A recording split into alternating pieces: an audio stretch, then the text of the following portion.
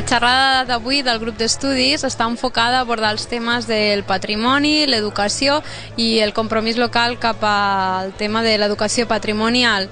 Eh, L'objectiu és intentar mirar el patrimoni amb uns altres ulls, no? els ulls d'uns espais col·lectius, uns espais identitaris com a societat, abordar el tema de l'educació, que l'educació és molt àmplia, que existeixen moltes estratègies, molts models per treballar aquest patrimoni i per apropar-lo sobretot al que és el futur no? de la nostra societat, que són els nens i nenes de les escoles, i com tot això pot revertir doncs, cap a el que són els espais locals, no? és a dir, tot aquest patrimoni, totes aquestes identificacions, totes aquestes possibilitats educatives, com s'han d'utilitzar en un patrimoni local, en un espai doncs, de proximitat. Bé, doncs, bona tarda i benvinguts a tots, com sempre. Eh, el, el que us volia dir és que el grup d'estudis continuem confiant en la gent jove i propera, com podeu veure. Eh, M'ho he hagut d'apuntar perquè començaré per dir-vos qui és la Tània pel que fa a la seva formació i coneixements acadèmics. És tota aquesta pàgina, eh? O sigui que és llicenciada en Història, màster en Gestió del Patrimoni Cultural, està a punt de doctorar-se en Didàctica de les Ciències Socials i del Patrimoni amb la tesi El patrimoni religiós medieval, l'anàlisi, problemàtica i disseny i disseny d'estratègies didàctiques als immobles de les diòcesis catalanes. Estàs segur d'això, Tània? També és membre del grup de recerca d'IGEX, que vol dir Didàctica de la Història, la Geografia i altres ciències socials. És professora del Departament de Didàctica de les Ciències Socials a la Universitat de Barcelona. I diu que està nerviosa. També té un mèrit afegit. És sòcia del grup d'estudis. La veritat és que darrerament hem tingut molta sort amb les incorporacions al grup d'estudis amb gent jove i alguns més joves que altres, però bastant, i amb una formació que ens permet fer conferències d'una gran qualitat. També us he de dir que, que encara que és de Sant Celoni, que ho porta al cor, actualment viu a Esplugues. I aquesta tarda, tal com haureu pogut intuir pel cartell de la publicitat, la xerrada ens parlarà de l'educació i el compromís social en el patrimoni. Ens ha preparat unes, una, unes sorpreses, una mica de... No, és que no m'ho ha volgut dir ni a mi, fixeu-vos quina mena d'amiga tinc. Per tant, jo ja no puc dir res més. Ara tot el protagonisme és d'ella i us la deixo tota per vosaltres. Aquí teniu la Tània. Bueno, com us ha dit la Rosa, de fet jo sóc una mica una nouvinguda, no? Porto dos anyets i escaig aquí Esplugues, però, bueno, mitjançant el grup d'estudis, mitjançant la meva parella, doncs m'he fet molt ràpidament al poble. Llavors, la xerrada... M'escolteu bé? Sí, oi? La xerrada que, que porto avui, de fet, té com tres, tres escales, tres ítems, el patrimoni, l'educació i el compromís local. I una mica l'objectiu és donar algunes claus en funció de les característiques i significats del patrimoni, de l'educació i una mica el compromís local vers el patrimoni. Vale, doncs, bueno, quan comencem amb patrimoni, l'important és primer reflexionar, no? És a dir, què és això del patrimoni? El patrimoni, si mirem les llistes de la UNESCO, significats diversos, de fet és, és l'herència, no? És l'herència és uns béns que heredem, però no hem de pensar només en uns béns que heredem, sinó també els béns que nosaltres traspassem en herència, no? Jo us he posat aquí aquesta imatge, no? perquè una mica és com un símil, no? És a dir, és aquesta torxa no? que en els Jocs Olímpics es traspassen no? persona rere persona, doncs seria una mica el mateix. No? El patrimoni és una que nosaltres agafem però que després lleguem a als nostres predecessors. Jo una mica també sempre em baso en autors, veureu que els vaig citant al llarg de la xerrada, no? i John Ruskin, que és un conservador i arquitecte molt important, de fet ell sobre el patrimoni ens diu aquesta cita que us llegeixo. Aquests béns no són nostres, són de qui els van construir i de les generacions futures a qui hem de llegar-los. No? És una mica aquesta idea del traspàs, no? aquest traspàs que hem de cuidar perquè arribi. Quan parlem de, de patrimoni, no, podem parlar d'un patrimoni individual, no, els meus objectes, casa meva, d'un patrimoni, per exemple, familiar, no, l'herència familiar, les joies, per exemple, la vaixella, eh, les fotografies, no? un patrimoni que compartim entre uns quants. I també tenim aquest patrimoni col·lectiu, no? com a poble, que són tots aquells béns que ens identifiquen com un grup, no? que anem tots junts. I jo crec que és el motiu de que neixin els grups d'estudis, de que neixin no, una miqueta aquest interès cap al patrimoni, no? aquesta idea de cuidar el que és de tots. Dins del patrimoni, a banda, sempre dividim entre el que és material, allò que podem tocar, no? jo us he posat aquí moble i immoble. Eh, L'immoble és a banda, és a dir, tot allò que podem moure, no? i l'immoble el que no podem moure. He posat aquí una foto de més una mica paradigmàtica, perquè en principi els edificis es consideren immobles, no? però ens van explicar fa molt poquet, el mes passat, que justament no? el claustre del, del convent d'aquí d'Esplugues no va deixar de moure's, no? És una excepció, però en principi entenem que els immobles doncs, són els edificis no? i que no es, no es mouen. Després hi ha un patrimoni que és immaterial, no? que diem que és una mica intangible, que no podem trucar, tocar, no? que no és visible per la cultura a simple vista, i que són les tradicions i els costums.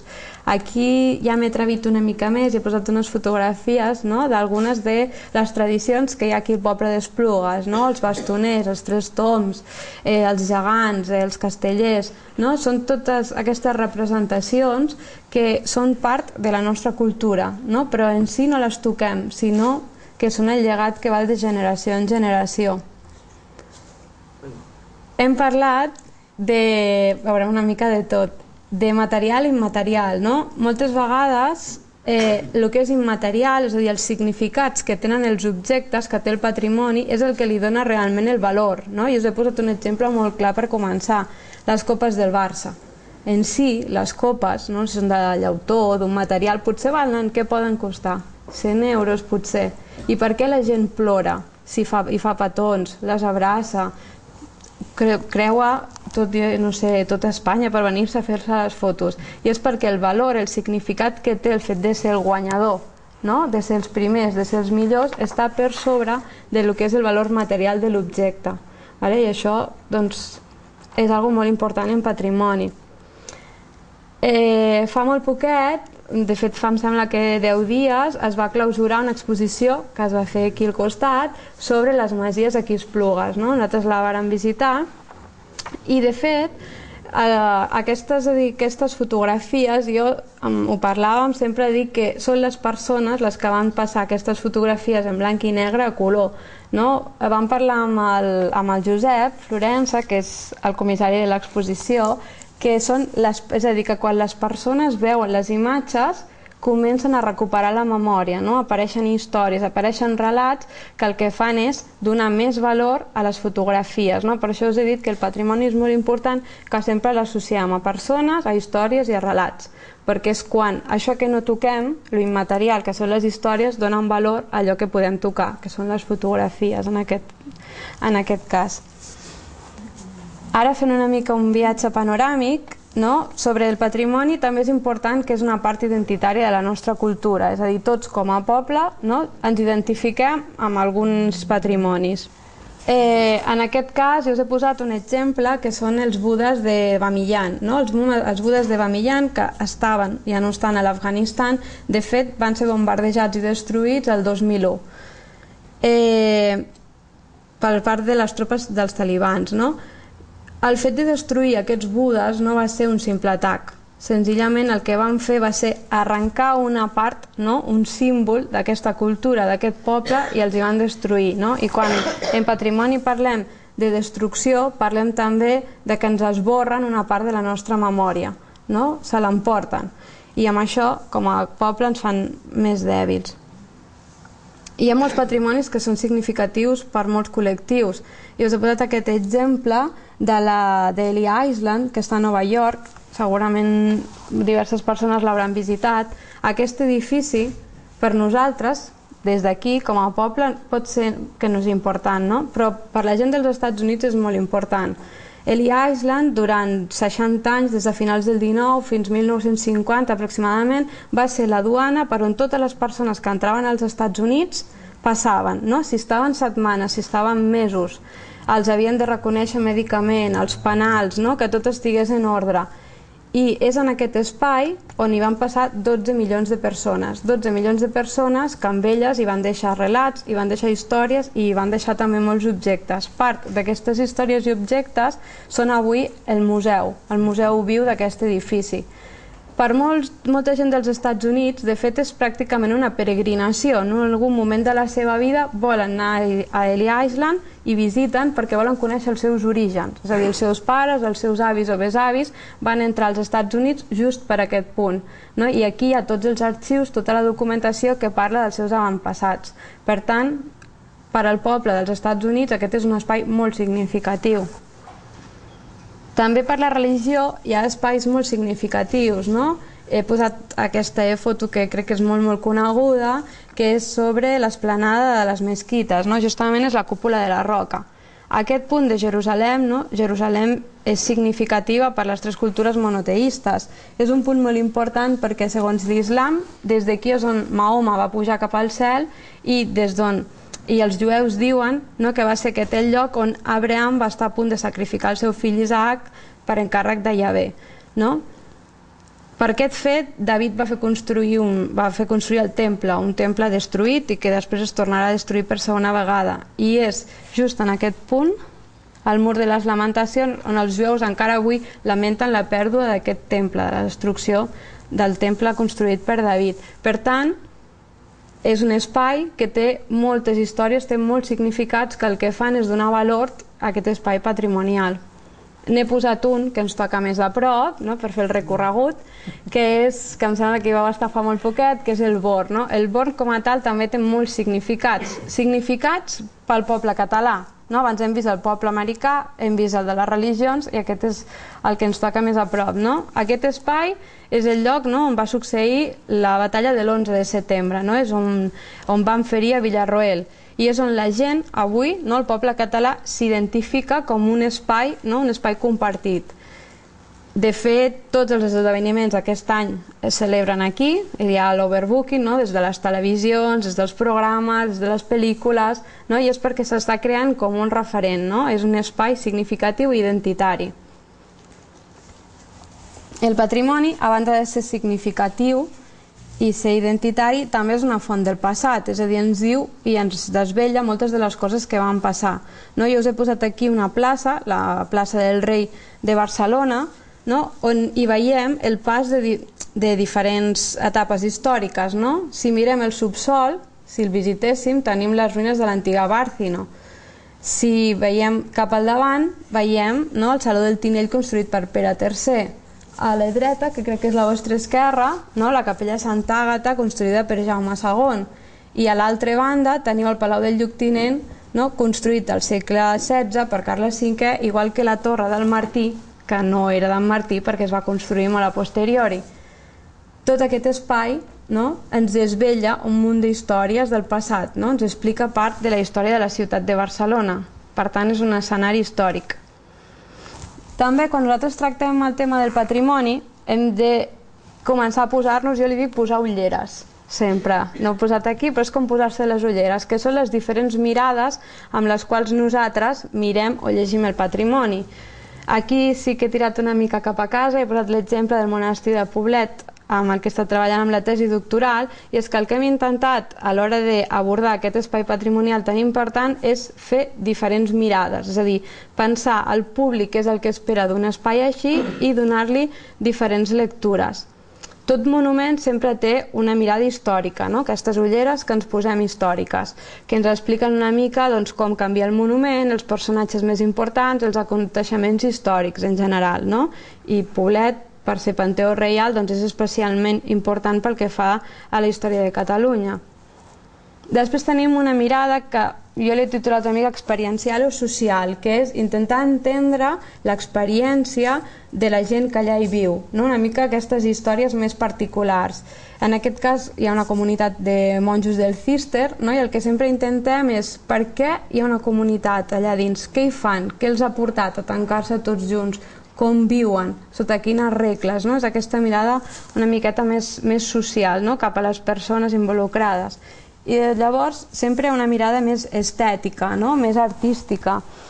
Quan diferenciem entre estètica i artística és perquè, per una banda, tenim les expressions artístiques, no? com coneixem, el romànic, el gòtic, el renaixement, i per altra banda tenim més la part dels teòrics, no? els que ens intenten explicar els significats de l'art. Eh, quan tractem els monestirs del Cister, eh, hi ha dos, dos persones que són molt importants, no? que són Bernat de Claramunt i l'abat Suger de Saint-Denis, no? on hi ha els panteons dels, dels reis de França. Són dos tendències, dos teories completament oposades de com entendre l'art monàstic a l'època medieval. No? Per una banda, Sant Bernat de Claravall és molt auster, no? diu que la bellesa està en la pedra, en la llum i en les formes i no vol decoracions, i per altra banda tenim eh, l'abat Suger de Sant Denis que diu tot el contrari, que diu que a Déu se li ha de donar el millor dels homes, per tant justifica doncs, les joies, justifica els ors, les teles, les decoracions i tot el que millor li puguem donar a Déu. No? Per tant, quan mirem un monument tenim també aquesta visió. Des de la didàctica del patrimoni, que és en el camp en el qual jo estic treballant, quan nosaltres enfoquem un monument, sempre diem que l'hem de tractar des de diferents punts de vista, no? i hem, el separem entre informar, difondre, interpretar i educar. Nosaltres entenem informar com descriure, no? donar informacions, descripcions bàsiques per entendre allò que estem veient. Quan parlem de difondre, parlem dels de altaveus del patrimoni, no? una mica que és la fotografia que us he posat Avui dia l'altaveu del patrimoni està en la web, no? diuen que si un, un monument, una institució, no? fins i tot una persona no té pàgina web és que no està en circulació, no està al món. No? Per tant, la difusió passa avui per la web. Després tenim dos conceptes que són ja més complicats, no? i us els poso amb exemples. Quan nosaltres interpretem és quan donem valors i donem significats al patrimoni. No? Jo us he posat aquí que és descodificar allò que a simple vista no veiem. No? Moltes vegades quan anem a museus d'art, per posar l'exemple, el que fa la cartela és descriure allò que en el fons nosaltres ja estem veient. No ens desvella cap missatge que nosaltres a simple vista no percebem. No? I, per exemple, us posaré un cas d'interpretació de l'art. Eh, us he posat el cas del quadre del Guernica, no? aquest quadre que va ser encarregat a Picasso el 37 per l'Exposició Universal de París per anar al pavelló d'Espanya. No? El van trucar i li van dir, bueno, trucar és un dia, eh? per fer-nos més pròxim a nosaltres, ens agradaria que pintessis un quadre per al pavelló d'Espanya que representi l'Espanya del moment, una Espanya que està en guerra, no? que està en crisi, l'Espanya del 37. I llavors Picasso una mica inspirant-se en el quadre de Goya dels afusellaments del 3 de maig, la primera proposta que fa és aquesta. Vale? És aquest quadre que, si veieu, torno enrere, de fet s'inspira completament amb els personatges, les figures, no? les armes canvien, però què passa? Que quan el té pintat pensa que és massa obvi, no? estem en guerra i el primer que he pintat són les armes i la por de la gent, no? el civil i els militars i no va estar convençut. Així que, de fet, aquest quadre no és el que coneixem avui dia com a Guernica. Eh, va seguir pensant no? en què em puc inspirar per representar l'Espanya del 37 d'una forma més sutil i va inspirar-se en Rubens no? va agafar aquest quadre dels desastres de la guerra de Rubens i bueno, el que va fer molt innocentment és agafar la làmina, posar-la en un projector d'aquests de diapositives antics però sense adonar-se el va posar al revés. I a més hem d'entendre que el color en aquell moment encara no existia. Per tant, el resultat va ser l'obra de Rubens al revés i en blanc i negre. I si jo ara us faig el següent pas, veureu que de fet el Guernica actual, el Guernica de Picasso, tant com el coneixem, copia les formes del quadre de Rubens dels desastres de la guerra. No? Veiem la figura principal aquí estirada, la veiem aquí, també us la marco amb el cursor, veiem aquí una porta que s'obre, també tenim la porta del refugi, la sortida del refugi no? de Guernica, per aquí veiem el foc, aquí comença a aparèixer la llum, l'electricitat, no? i hi ha diferents personatges que estan representats amb les mateixes formes. Per tant, aquesta va ser l'interpretació que Picasso va fer sobre el seu quadre de Guernica. Què va passar després amb el quadre aquest inicial que us he presentat, que es va inspirar en els afusellaments del 3 de maig? Doncs de fet es diu Les guerres de Corea. Anys, bastants anys més tard, als anys 50, durant la Guerra Freda, ell pinta, segons diuen, les guerres de Corea, però és un quadre que ell ja tenia pintat en el moment de l'exposició universal del 37. Aquesta interpretació de l'art, de fet no és meva, és de Panofsky, algú molt, molt, molt, molt savi, vale? però veieu que són interpretacions, són eh, significats, són descodifiquem allò que no veiem. No? A vegades trobem a faltar una miqueta aquesta part, no? quan nosaltres mirem un quadre. Quan parlem d'educar, que era ja el, tercer, el quart qualificatiu que fem servir des de la didàctica del patrimoni, entenem educar no, com un canvi d'actitud. Els psicòlegs diuen alguna una mica més complex, no, que diuen que són els canvis cognitius que perduren en el temps. No? Que vol dir, jo sempre ho dic, és com si algú ens donés un cop al cap, no, un martell, i ens canviés la forma de pensar. No? D'alguna forma, quan parlem d'educació.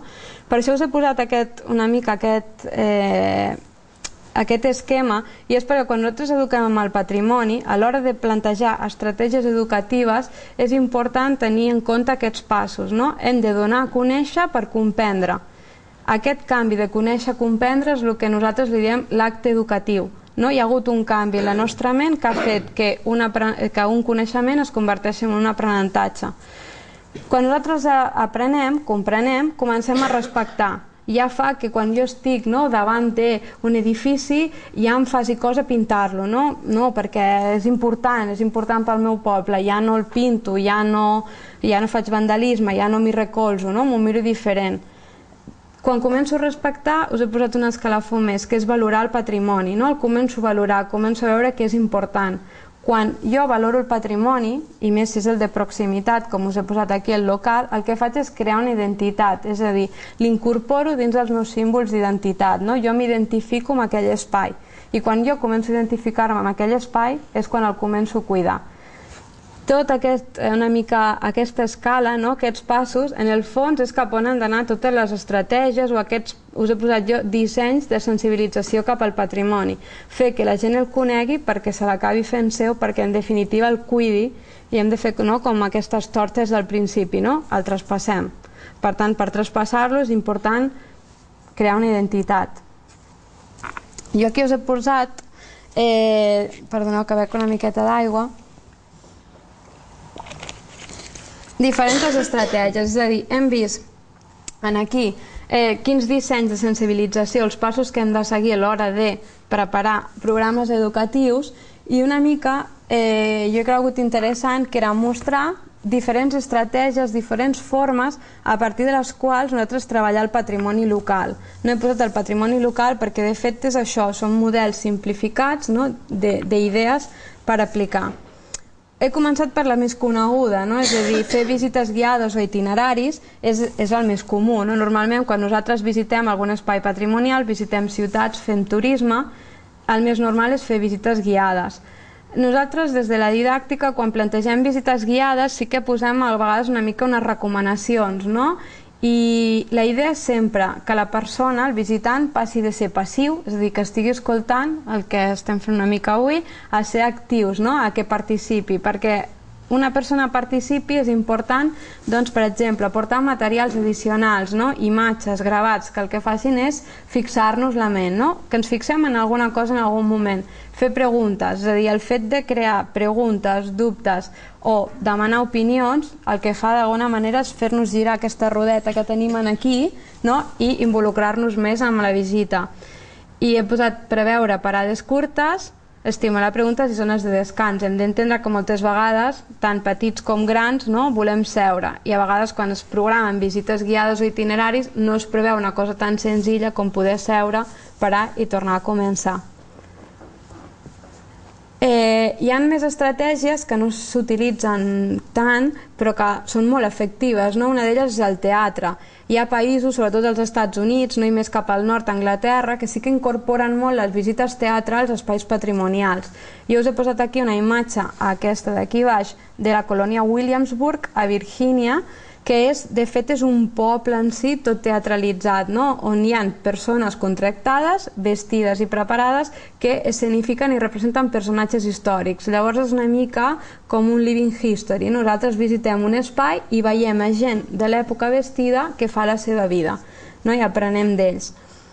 Aquesta imatge d'aquí és una, una prova que vam fer, igual que aquelles d'allà, que estan una mica encara en secret, eh, que és una de les estratègies que vam programar per la visita a Poblet. És a dir, nosaltres, com que abordàvem el patrimoni religiós, vam intentar abordar-lo des de les diferents estratègies que avui us plantejo. Llavors, el teatre per nosaltres era una aposta important i de fet després l'avaluació ens ho va demostrar no? és a dir, quan nosaltres el que fem és preparar, que això és molt important és a dir, un actor no ha de ser una persona que el vesteix fa un paper i marxa un actor és una persona que se l'ha de preparar que se li ha d'explicar el context històric en el qual està, s'ha de creure el seu paper i ha de ser rigorós no moltes vegades aquest Sant Jordi amb la corona del tortell de Reis i l'espasa de fusta, això el que fa és desmereixer la història. No? La història, perquè se la creguin, ha de ser rigorosa. Per tant, hem d'apostar cap a aquesta via, que l'atrezzo, els vestits siguin rigorosos i documentats i els personatges siguin capaços de viatjar en el passat per fer-nos viatjar a nosaltres. Si nosaltres no ens podem posar al lloc d'un personatge del segle XIX si el mateix personatge no s'ho creu i no ho transmet. Aquí a l'escena, de fet, són dos personatges del segle XVI, no? És un pleit que va haver-hi al segle XVI entre els monjos de Poblet i l'escultor Damià Forment, que era un escultor molt reconegut en el seu moment que introdueix el Renaixement a Espanya. Eh, bueno, el, per una cosa o altra sembla ser que l'escultor doncs, no, no va fer bé la seva feina i els monjos doncs, el van denunciar. Eh, aquest fet, que és anecdòtic, està documentat no? i per tant vam agafar els guions, vam agafar el pleit i vam fer un guió a partir del pleit original. Per tant, era l'extracció d'una font històrica i uns vestits, diguéssim, eh, també contrastats. Eh, després hi ha altres estratègies que uh, són més comuns, que és per exemple els tallers. No? Els tallers que és més, són més comuns, són els que tenim doncs, jo crec que coneixem millor i són els que ofereixen sobretot els museus perquè és important tenir espais habilitats per poder-ho fer no? la idea d'un taller és fer una activitat no? manipulativa en la qual jo experimento i després m'emporto part d'aquesta experiència a casa, no? ja sigui el dibuix, ja sigui una joia, ja sigui un vestit en el que consisteixi el, el taller. Eh, altres que us porto aquí són, per exemple, els objectes. No? Moltes vegades no es dona pes dins de la història als objectes, que en el fons són els materials, no? és el passat a partir d'aquelles restes materials que ens arriben. Nosaltres podem reconstruir la història a partir d'aquells materials i per tant és important que quan nosaltres plantegem estratègies tinguem en compte. No? Jo he posat aquí alguns conceptes una mica més, més tècnics, no? la idea d'inclusors d'element quan nosaltres parlem d'inclusors de la ment o que materialitzen coses abstractes és perquè en educació, per exemple, explicar l'edat mitjana a un nen de 10 anys és molt difícil perquè per ell el concepte de temps és complicat. Si a aquest concepte de temps li afegim eh, abstraccions que historiadors de segles després han posat uns títols, encara compliquem més. Però si nosaltres som capaços d'aquesta època medieval portar un casc a classe i generar informació a partir d'un casc, a partir d'un vestit, el que fem és que el nen associï sempre la informació del món medieval a aquell casc o a aquell vestit. Per tant, per això diem que és un inclusor, perquè és capaç d'associar conceptes a partir de coses que jo puc tocar. Mm, també tenim el tema dels jocs. No? Els jocs és el que encara, jo crec que aquí a Espanya tenim una assignatura també pendent no? introduir jocs de pistes, gincames, eh, posat jocs de taula o jocs de rol, doncs és possible sempre i quan els adaptem. No? I us he posat aquí diversos exemples. Aquest és un joc de loca, del joc, per exemple, del Camino de Santiago. El que han fet és adaptar les normes del joc normal que tots coneixem, però a les caselles hi ha els diferents pobles pels quals un peregrí ha d'arribar bueno, ha de passar per arribar a Santiago. El tema del qui és qui, aquí he agafat una imatge així més graciosa de la sexta, que hi ha tot de famosos, no? Si de, a la sexta són capaços d'agafar un talell del qui és qui i posar-hi les cares de famosos, per què no ho podem fer nosaltres amb els personatges importants de la nostra localitat? No? La dinàmica és la mateixa, agafem el que ja coneixem però ho adaptem. I el mateix passa amb els jocs de pistes o de gincames, no? Les nostres localitats tenen espais d'interès molt importants, que tenen històries, enigmes, no? A esbrinar, preguntes que ens fem. Doncs per què no aprofitem doncs, totes aquestes possibilitats i aprenem a partir del joc, no? També és una de les opcions. I aquí us he portat el tema dels kits mòbils. I ara sí que m'aixeco. Avisa'm, eh, com vaig de temps estem tots tan... Vale, quan nosaltres, ui, quan nosaltres parlem de kits mòbils, no, de fet estem parlant de, de caixes, no, de maletes, que estan plenes d'objectes, no? plenes de materials que el que fan són temàtics. No? Nosaltres volem treballar una, un tema i el que fem és preparar en el fons una caixa, una bossa amb materials que ens ajudin a explicar-nos. Normalment, aquí us he posat diversos exemples de museus, solen ser caixes que van amb rodes, que les podem transportar, que són lleugeres, que tenen materials amb recanvis, no? un munt de consells que agafem. Però també podem fer que siguin les maletes dels personatges. I això és el que vam fer nosaltres amb aquesta proposta que us he comentat a Poblet.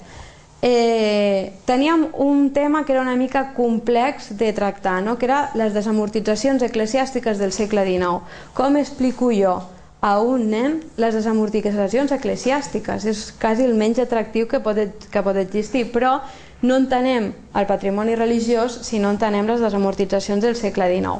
Per tant, la nostra estratègia va ser crear les maletes de la diligència. Vam plantejar un problema que era el, 20, el 25 de juliol de 1835 una diligència de l'Espluga va perdre 5 maletes. Són aquestes 5 maletes que us porto avui aquí. Cada maleta és d'un personatge, llavors el que consisteix és anar obrint maleta per maleta, eh, ara les obro una mica, després al final les podeu venir i, tra i trastejar el que vulgueu, és d'un personatge completament oposat, vale? perquè és la forma que tenim de treballar la història. Per exemple, aquest maletí dono respostes, amb ells el que fem és moltes preguntes sense cap resposta, és d'un mestre, no? un mestret que treballava pel monestir i per tant, què associem un mastret? Roba, sobretot el tema de la roba, els encanta vestir-se, eh? es converteixen en personatges. Eh, una camisa no? de, de poca qualitat, un mocador pel coll, després si comencem a treure, per exemple, no? un pot per la tinta, plomes per escriure i bueno, si comencéssim a treure hi ha un munt de llibres, el que us deia del rigor històric, és a dir, és important tot i que ens costi doncs, que els materials, en la mesura del possible, siguin molt rigorosos. Per tant, el que van fer van ser anar antiquaris, eh, demanar, si us plau, moltíssima gent que ens cedís llibres del segle XIX que servissin per les nostres maletes. En aquest cas hi havia tot de llibres de matemàtiques, de llengua, de filosofia, de història, eh, de matemàtiques, de tot, de tot tipus de temes. No? I la idea era descobrir qui és el meu personatge a partir dels objectes. Aquest, per exemple, en seria un. Altres, altres per exemple, maletes, intento no donar l'esquena a la càmera, per exemple, seria aquesta d'aquí. Aquesta és la maleta que li diem del monjo. No? Tenim el mestre que treballa al monestir i aquí tenim el monjo. Eh, per la del monjo eh, vam fer servir, vam demanar ajuda als monjos de Poblet. Li vam dir, hem d'explicar el vostre personatge, com ho fem? Llavors ells ens van començar a dir doncs jo si viatgés me n'hagués a marxar corrents agafaria només la capa perquè passem molt de fred, doncs la capa. Algun sant per resar? Doncs vam agafar un dels sants, Sant Mateu en aquest cas. Eh, llibres, llibres que s'emportaria un monjo i ens van dir la Bíblia, el Kempis, no? que era una mica el llibre en aquell moment no? que tothom tenia al segle XIX, i un brevarium del Cister. No? Per tant, tots els elements composaven un monjo passo més ràpid. Un altre dels personatges era una burgesa, no? Les amortitzacions no s'entén sense la figura del burgès. Eh, dins de la, de la burgesa aquesta ja, és més, ja els agrada més, no? ja té més, més coses, sobretot era indumentària, és a dir, una dona de classe alta que ha de viatjar en aquell moment, doncs què s'emportaria? Doncs tot l'engalanament que pogués, no? és a dir, des d'unes anagües, una camisa completament brodada, eh, unes cotilles, uns vanos, eh, unes agulles, unes fíbules, unes perfumeres, bueno, després us ho deixo una mica perquè ho veieu, no? I aquesta, per exemple, seria la figura de la burgesa. Tota burgesa sempre hi ha d'haver un burgès, no? Llavors vam recrear la, la maleta del burgès, no? Ja veieu que també fins i tot eh, les maletes també van ser molt personalitzades, és a dir, amb els personatges. Eh, aquesta, per exemple, del burgès, no? doncs tenia des de la camisa, l'armilla, aquest tenia moltíssimes coses, eh? un corbatí, per anar... Aquests sobretot van buscar moltíssima documentació de l'època, és a dir, van buscar els diaris del moment, del 1835, per exemple, l'Eco del Comercio, eh, el vam escanejar, el vam imprimir, eh, després hi havia anuncis, no? perquè era una persona important, que havia de fer negocis, havia d'anar armat, per tant vam anar als encants i vam estar buscant armes del moment, també per posar-les aquí dins, eh, bueno, rellotges, no? rellotges d'aquests de, de polsera, d'or, no? tot de materials que ens diguessin una mica el tipus de persona que era, no? i un llibre de lleis, i bueno, hi ha altres. Eh, sempre els hi fa molta gràcia, això és un bastó espasí, és a dir, si ara l'obris amb molta força, doncs és una espasa, no? Ah, te'l deixo que l'obris, jo no en sé. és que s'ha de tenir molta força. Ah, mira, per exemple, no? és a dir, aquesta idea de la persona important, documentada, ben vestida i que més té armes, que si li passa qualsevol cosa ella es defensa molt ràpidament. I després el cinquè personatge, ja, que la, ja és molt més auster, molt més discret, no? el que tenia sobretot són robes i menjars, no? és a dir, des d'un trosset de pa, un trosset de formatge, els cigrons, no? eh, després també tenia de tot, sí, sobretot és menjar, una cantimplora de carbassa, de les que hi havia abans, no? un rosari, també sense grans luxes, i aquest seria el personatge una mica de la pagesa, la camperola, no? que treballa a les terres del monestir. Amb tots aquests personatges el que volíem era recrear els personatges del moment de la desamortització, no? des de la gent, el burgès i la burgesa que es beneficien d'aquesta situació no? de, de treure les propietats de l'església perquè les volien comprar, la dona pobreta que treballa al monestir ha de sortir corrents perquè no sap el que li espera, el monjo que és el que ha de sortir més corrents. De fet, eh, l'escena està documentada perquè la nit abans a Reus eh, van matar 10 monjos, no? Llavors això va arribar en seguida a les veus i l'abat de Poblet els hi dona una bosseta amb 40 duros, que realment està aquí dins després perquè la veieu, perquè marxessin. Llavors el monjo és el que ha de marxar i el mestre, clar, si exclaustren al monestir, doncs ja no té feina. No? Per tant, tenim els diferents bàndols de la desamortització i un tema que a priori semblava feixuc, semblava complex, doncs l'hem fet, intentat fer més dinàmic, més atractiu, no? i sobretot el que ens deien els alumnes quan ho van provar és que m'he sentit dins del personatge quan m'he vestit, no? o els objectes al ser tan diferents i al ser tan rigorosos, doncs me'ls he cregut més, no? llavors han estat capaços de fer-se més preguntes. I, bueno, i aquesta era una mica el tipus d'estratègia no? que, us volia, que us volia explicar. No? Que no només sigui tot la teoria del paper, sinó que ensenyem una mica doncs, els materials que fem. I igual de fet amb la resta, eh? si féssim moltes més xerrades, portaríem els actors, començaríem a portar tothom. Ho serem, ja.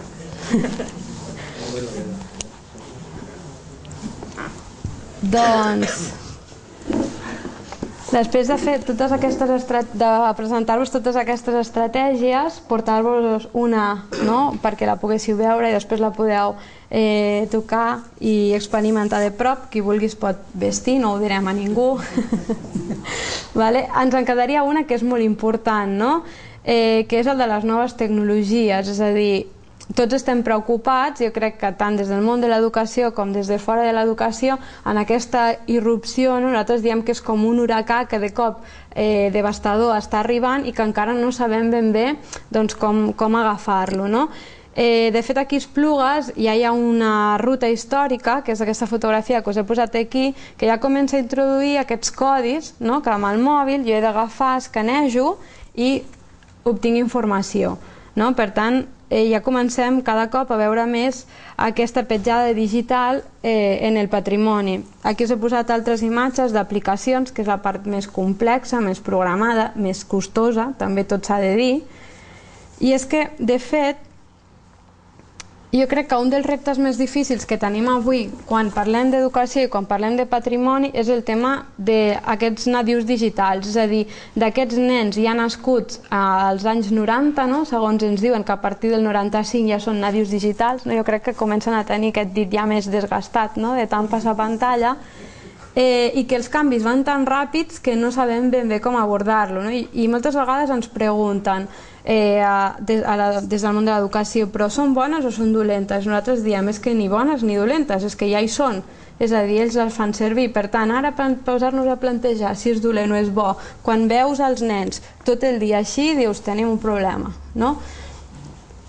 Eh, jo sempre dic, sempre dic que de fet les noves tecnologies eh, canvien molt, per estar al dia és molt complicat, no? però sí que hi ha una cosa que és veritat, no? i és que eh, tenen el, man, el món a les seves mans. És a dir, des d'enciclopèdies, des d'arxius, des de filmoteques, des de les enciclopèdies, totes les tenen aquí dins. Per tant, es pot fer un ús bo, un ús educatiu de les noves tecnologies, perquè ho tenen tot aquí guardat. L'únic és que els hem d'ensenyar que les noves tecnologies no tot són les xarxes socials, no tot és estar tot el dia amb el WhatsApp, sinó que hi ha també altres possibilitats que els poden ajudar doncs, a millorar el seu aprenentatge. Això és una mica el que us he explicat abans, no? que és la, la, por, la por dels canvis. No? Hi ha molta gent que té por a les noves tecnologies, però veiem que ja les tenim a sobre no? i no sabem com dir-li al nen que deixi d'agafar el mòbil. Potser no li hem de dir que deixi d'agafar-lo, potser li hem de dir que el miri d'una altra manera, no? ajudar-lo a descarregar aplicacions de museus que els ensenyen coses, dels arxius nacionals que ja també estan en obert. No?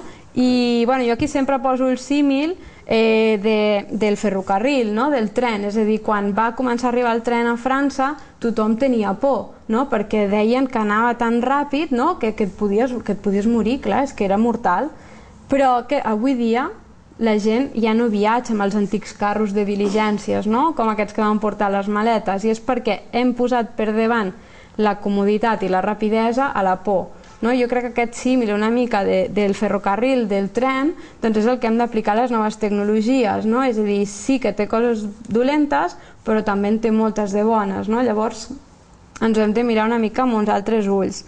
El fet de mirar-nos amb els altres ulls és que, jo us he posat aquí, no? les formes d'entendre la cultura doncs estan canviant per ells, no?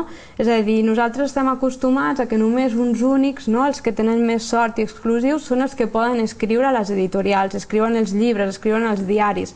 Avui dia molts tenim blogs, tenim Facebook, tenim xarxes socials, que el que fem és penjar el que pensem en tot moment. I a l'instant tenim un munt de gent que li dona el me gusta no? o, que, o que et dona la seva opinió. Per tant, estem compartint allò que fins fa uns, uns anys, una, una dècada, ningú pensava que poguéssim compartir els nostres pensaments de forma tan ràpida i global, no? perquè jo em puc estar escrivint amb una persona a l'altra punta del món sense cap tipus de problema. No? Per això jo crec que estem cap a un món no? més compartit i democratitzat. No? Estem fent que la cultura arribi més ràpid a tothom.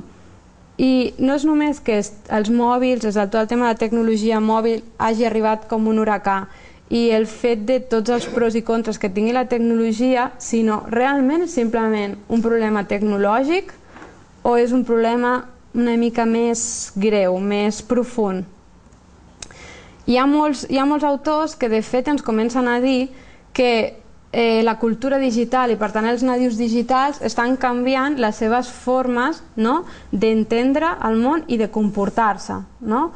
Aquests canvis de comportament els veiem tots els dies, no? costa més que la gent es concentri, cada cop són més visuals, aprenem a partir de les imatges.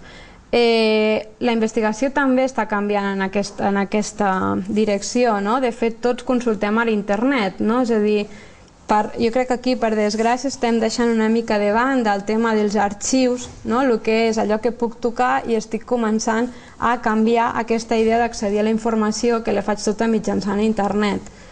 Tots aquests canvis, de fet, hi ha molts autors que ens comencen a dir que són canvis més profuns perquè són canvis d'intel·ligència, de canvis de comportaments, no? Cada cop tot és més ràpid, és més canviant, és més immediat i la nostra memòria cada vegada de fet està més fragmentada, no? Ens costa més crear coneixements globals, no? crear coneixements conjunts. Jo sempre poso el símil aquí de dues empreses que s'han adaptat perfectament a aquest canvi de comportament de la societat. Una és Google, no? de, que puc accedir ràpidament, que canvia constantment la informació m'ho planteja tot de forma fragmentada, necessito consultar diferents, no? he d'obrir diferents pestanyes per obtenir la informació completa. I l'altre és IKEA. De fet, IKEA s'ha adaptat perfectament al nostre comportament. Nosaltres ja anem d'encarregar un menjador i esperar tres mesos a que ens el portin. Anem al catàleg, el triem, busquem IKEA, me l'emporto a casa, tot és ràpid fragmentat, no ens plantegen un menjador sencer, ens donen mòduls i nosaltres en funció dels nostres gustos no, en triem una part o en triem una altra. Fixeu-vos que és el mateix que hem descrit però a partir d'empresaris. Llavors, per què IKEA i Google triomfen? I és perquè s'han adaptat a les nostres formes de comportament. I ja, de fet, per acabar, la tercera part de la meva xerrada era sobre el compromís local. No? Hem fet un viatge pel patrimoni, les seves característiques, un viatge per l'educació, aquesta que està canviant tant i que ens preocupa tant, i sobretot el tema del compromís local, no? el compromís local vers el patrimoni. Jo crec que és molt important la recerca com a motor no? És a dir, el fet d'obrir nous camins, el fet d'obrir nous coneixements és bàsic per no estancar-nos, per conèixer-nos més i per crear i forjar més aquesta identitat local. Aquest, aquesta recerca sempre ha d'anar acompanyada de fonts històriques, he posat aquí, locals. De fet, les tenim al nostre voltant i moltes vegades no ens adonem. És a dir, tots som testimonis vius, que hem viscut experiències, que les podem explicar i el que fan és avançar, no? Donar, avançar, fer recerca en el camp, de, en el camp del món local. Eh, els arxius, no? les restes arqueològiques, us he posat aquí Sant Pere Màrtir, eh, els objectes, Esplugues, no? a partir d'una mica el que he pogut conèixer, eh, té un passat agrícola, no? el, és terra és, és terra o zona d'àrees de, de masies, per tant té un passat agrícola, hi ha objectes que defineixen la vostra població, no? doncs també els podem aprofitar per crear aquest coneixement i per mostrar al jovent d'avui dia com era la societat o com era un espluguenc, espluguina, ho dic bé, no em vull equivocar, eh, fa un segle, per exemple. No? És molt important la difusió del patrimoni local, Eh, jo crec que la difusió és aquest primer pas que us deia de donar a conèixer per comprendre aquell esquema sobre l'educació que us he fet al principi i és que si nosaltres, és a dir, les institucions que són sensibles i que es preocupen per la cultura i el patrimoni no ho donen a conèixer a la societat doncs es perd, no? diguéssim, i llavors deixem de crear sensibilitats, deixem de crear valors, deixem de crear identitats, no? i al final, doncs com que no ho conec, doncs no em fa res pintar amb esprai a la paret, doncs no em fa res que ho tirin, que ho tirin a terra, no? Jo aquests dies vaig, bueno, van fer a la televisió una pel·lícula que és Cine Paraíso, no?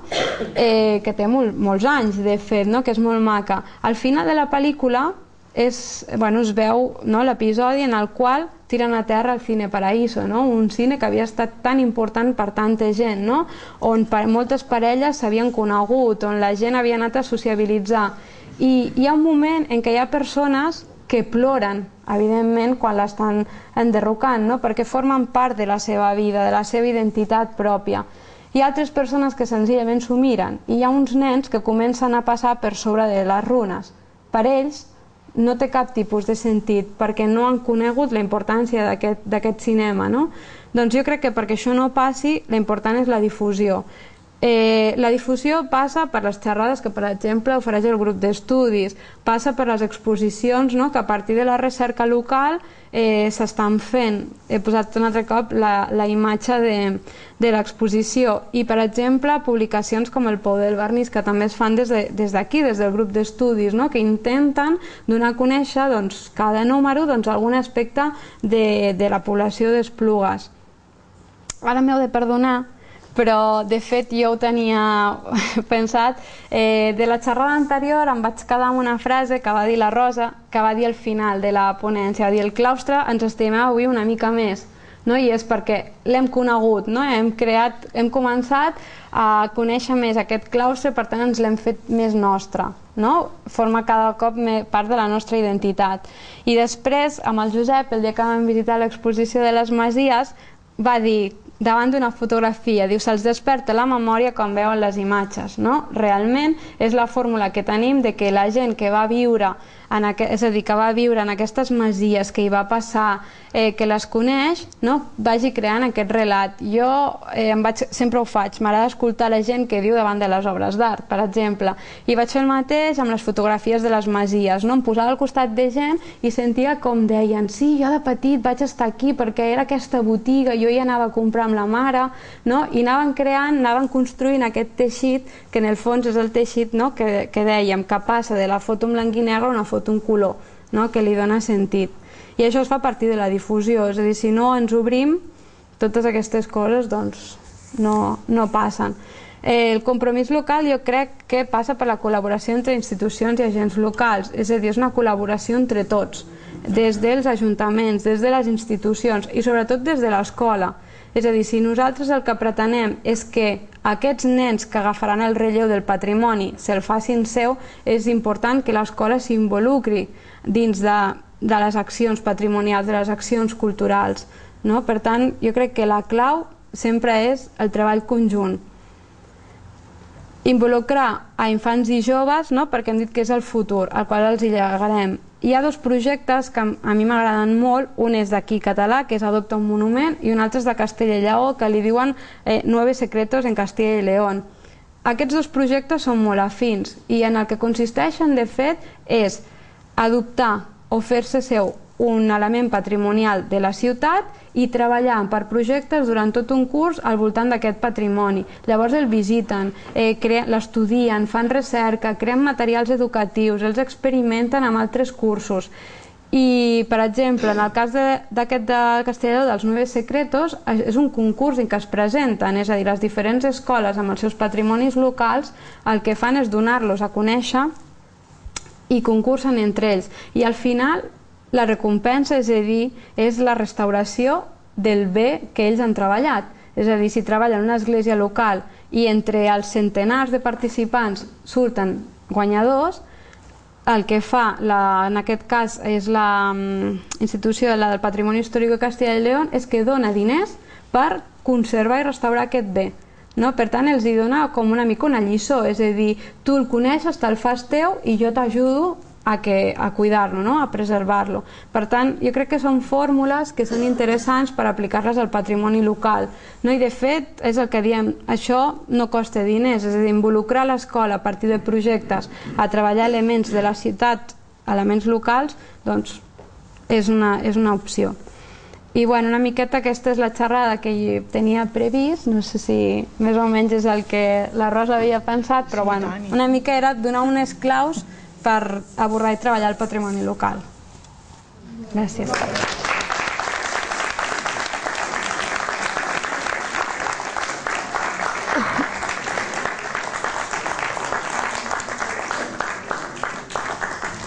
suposo que estareu d'acord amb mi que ha superat totes les expectatives. Ha, ha sigut un, un plaer, un plaer escoltar-te, se'ns ha fet curt ha sigut un viatge pel, per la història, pel patrimoni i, i també hem après també hem après molt, ho, ho has fet molt bé i es nota que en saps moltíssim. Uh, per mi haguéssim pogut estar una hora més, eh? Sí? ho sento per tu. Uh, doncs una vegada dit això, um, espero que Esplugues hi siguem a temps perquè... Segur que sí. Espero que sí, perquè els nens no trepitgin només pedres Uh, Dir-vos, recordar-vos que la sortida a Mollà és el dia 15 de novembre, el dia 15, que l'Enriqueta m'avisa que no soc gent. el dia 15 de novembre ens anem a Mollà, tots. Nosaltres hem estat a punt de no venir, però al final venim.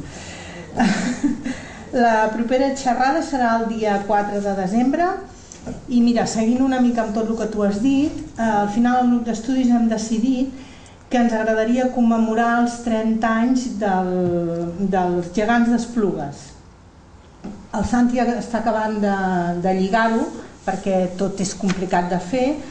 Aleshores nosaltres el que entenem és que això és, és patrimoni també de la ciutat, de la manera que tu has explicat. Immaterial. Immaterial, molt, molt bé. M'ha fet molta gràcia el que la Lídia t'ha tirat per terra una mica la teva tesi dels immobles ah. perquè el claustre de Montsió, de fet, s'ha bellugat més que, que els gegants gairebé. Això perquè vegis que, com diu ella, tot té el transform i s'ha sí, d'estudiar a fons. Sí, del Guernica... Amb el trasllat es conservaven. Exacte, exacte. L'explicació que ens ha fet del Guernica ens ha deixat a tots. doncs eh, ens volem fer ressò el grup d'estudis dels 30 anys del, dels gegants, ho hem d'acabar de lligar amb ells, però crec que serà interessant. El Santi se n'ocupa, per tant ho farà bé, molt bé. I res més, ara tenim una mica de piscolabis com sempre i desitjar-vos que el dia 9 tingueu tots una bona costellada.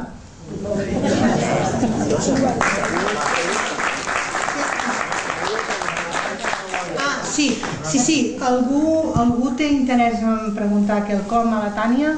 Podem esprema-la una mica més. Que vulgueu. Eh? Gràcies. Jo només volia dir una coseta. No sé si una de les dues ha dit que esperem que siguem en temps. Ho han dit totes dues. A conservar el patrimoni. Jo només volia dir que de patrimoni que es plogues en els darrers 20 anys se n'ha perdut moltíssim. Moltíssim, moltíssim. No hi ha hagut manera de, de poder preservar determinats edificis. I amb això vull dir que, no sé, a partir d'ara, si es podrà fer divulgant més, fent més difusió, si, haurà més, si es podrà sensibilitzar més a les persones, a les que tenen la, la, la potestat de poder preservar o no poder preservar. No sé fins a quin punt eh, vosaltres podeu influir amb la sensibilitat dels que manen amb aquest aspecte. Gràcies. Sí, de fet, bueno, jo una miqueta és el que he dit des del principi, no? Soc nouvinguda, amb la qual eh, la història o la trajectòria local no la connecten tan de prop. Sí que és cert que a partir de l'exposició de les Masies eh, vaig estar mirant només entre el, el planell no, de les Masies i vaig estar comptant que més o menys el 60-70% de les Masies que hi havia a Esplugues avui dia o no hi són o estan completament transformades. No? Per tant, sí que això pot ser en la línia del que deies és una realitat. Jo crec que el problema de l'educació és de base és a dir, és un treball d'anys i que s'ha d'anar forjant. No? Per tant, jo per això comentava una mica com una idea el tema de, del patrimoni i l'escola. No? De fet, el patrimoni en si, dins dels currículums escolars, és inexistent pràcticament, eh? no, no es tracta gaire. Llavors, eh, ha de ser més una iniciativa del mestre, no? de treballar el patrimoni més eh, transdisciplinarment per, d'alguna forma, doncs, incorporar-lo a les aules. Jo crec que sí que hi pot haver un canvi, però clar, és un canvi llarg i és un canvi que implica involucrar-se. És a dir, si des dels centres docents eh, no s'involucren amb el patrimoni a fer projectes comuns amb les associacions, amb l'Ajuntament no? i les diferents institucions, clar, és complex, no? és a dir, que en aquest sentit tampoc puc donar com una resposta, però, però sí, sí que és cert que, que és canviar el plantejament i dir treballem d'aquesta manera. De fet, ja, eh, em sembla que dins dels projectes aquests que es fan de, a final de, sí, de, batxillerat, de batxillerat, treballs de recerca... Se n'han fet dos o tres. Se n'han fet diversos sobre, sobre esplugues, me'n recordo que els sí. vau comentar l'any sí, passat. No? Aquesta és una via, és a dir, eh, afavorir que els temes de les recerques en les escoles, no? que els temes dels treballs siguin sobre el patrimoni de proximitat. No? Això els obliga directament doncs, a treballar-lo. També aquí a Esplugues hi ha un arxiu, no? un arxiu que a més està molt involucrat i bueno, a mi em van presentar les persones el dia que vaig estar visitant l'exposició i eren persones no, que, que eren molt pròximes i que convidaven a que la gent doncs, anés a l'arxiu a conèixer una mica la història d'Esplugues, amb la qual per exemple, no? és a dir, també podria ser aquest, el patrimoni documental eh, és patrimoni també, no? doncs una mica, jo crec que és aquesta la línia, no? enfocar projectes, ja sigui de recerca o de curs, que, que d'alguna manera comencin a familiaritzar-se amb el patrimoni local. Opinió, eh? Només. Jo et felicito per la, per la xerrada, perquè ha estat fantàstica i a més a més ens has fet un PowerPoint fantàstic també sí. eh, i, i llavors a més és molt estimulant la teva xerrada eh, perquè eh, ens obres, ens obres eh, moltes vies i, i jo, sobre, jo estic molt preocupat des de fa temps del tema de l'educació i com podem incorporar a, a les escoles d'Esplugues el treball del patrimoni. I per tant doncs, també t'emplaço a que, ajud, que ens ajudis, no? que, que tu en saps molt, tens moltes idees i que precisament aquest és un tema que hem d'impulsar. No? Mm -hmm. Vale. agafo, agafo la proposta. Sobre el temps. Ara, abans has plantejat el fet de la didàctica. El, el tema de la didàctica és una cosa, i deies que és cada mestre realment és subibrillo. Sí. És a dir, en aquests moments ja a les escoles hi ha una cosa que, que la majoria de vosaltres no, no coneixeu. Jo tot plegat fa dos anys, des del curs passat que ho estic fent servir. En aquests moments a la majoria d'escoles tenim les, pissar, les pissarres digitals. Imagineu-vos aquesta pantalla a la classe, a la dreta tinc la pissarra de guix i a l'esquerra tinc aquesta pissarra, però és tàctil. Això vol dir que jo faig matemàtiques i si faig en guix és en, en gris, en, en blanc d'un fons verd. Si agafo la pissarra digital, agafo un punxó que, bé, fent les, les, el que sigui de matemàtiques que estava fent avui, ho estic fent en colors. I podem fer geometria amb el compàs a la pissarra amb el, o amb el compàs digital i tot un seguit de recursos. Eh, aquesta tarda estàvem estudiant, el, estàvem veient el, el convent de Montsió, estàvem fent patrimoni.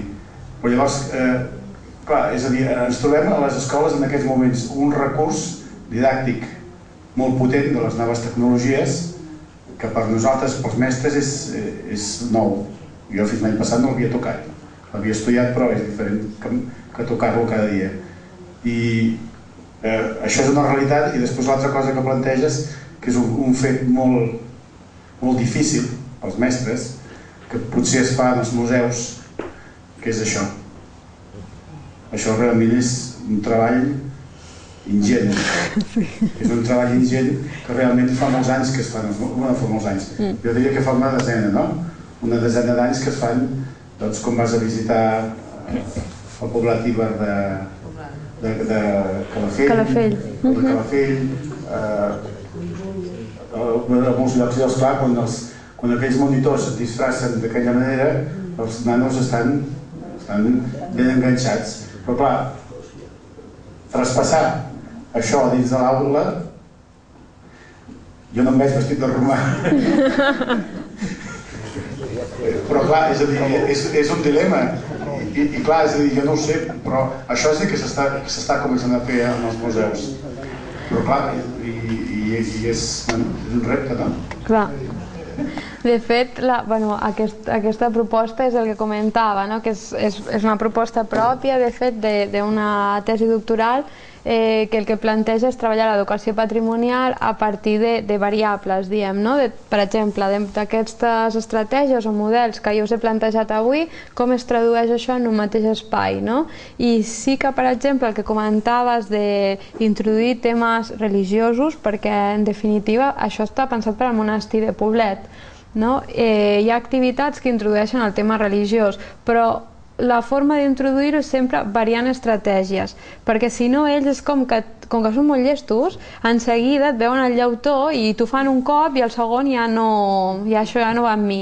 En canvi, si els fas fer, per exemple, primer un taller no? sobre, per exemple, la simbologia religiosa dels, dels capitells. No? Després, doncs, per exemple, els hi apareix un personatge, un escultor, no? que era el picapedrer que va fer, no? i els explica una altra història. No? Com que ja és diferent, els descol·loques. No? I és com que llavors no, no deixen de parar atenció. I llavors, des de la didàctica una mica el que estem veient és això, no? que cada cop, com que ells són més canviants i es cansen més i són més visibles, la fórmula de mantindre'ls una mica atents és a partir de variar diverses estratègies, no? anar intentant. Sí que és cert que això és ambiciós, realment jo he de dir, vaig passar-me un mes i mig de la meva vida només dedicant-me a buscar aquests objectes un mes i mig tot el dia, perquè clar, és complex, no? els has de documentar, has d'anar als antiquaris, has d'anar a les cases de vestits, i bueno, sí que és cert que hi ha museus que fan maletes que les cedeixen gratuïtament a les escoles. Eh, per exemple, el Museu d'Art Contemporani té una maleta espectacular que la lloguen gratis, és a dir, els escrius i te la cedeixen a l'escola, el Museu d'Arqueologia també, és mirar una mica les webs de vegades i, i trucar però sí que hi ha institucions que com que tenen més recursos doncs bueno, fan aquests, aquests materials i jo aquests són meus però si els volguessis també els cedeixo no, però el, que, el que és molt interessant i, i, el, i el canvi que hi ha avui en dia a totes les escoles és el fet de disposar de les, de les pissarres digitals mm. Vull dir, el fet de no, jo vam mirar qualsevol vídeo l'experiment sí, sí, natural sí. sempre hi ha neixen uns pollets no cal anar a una sala a part a veure un vídeo, no, no, tens al YouTube, el tens a la classe i veus com neix el pollet i no cal fer cap virgueria, és a dir, realment se'ns ha introduït el món de les imatges a dins de les aules. Mm -hmm. Doncs bé, alguna pregunta més?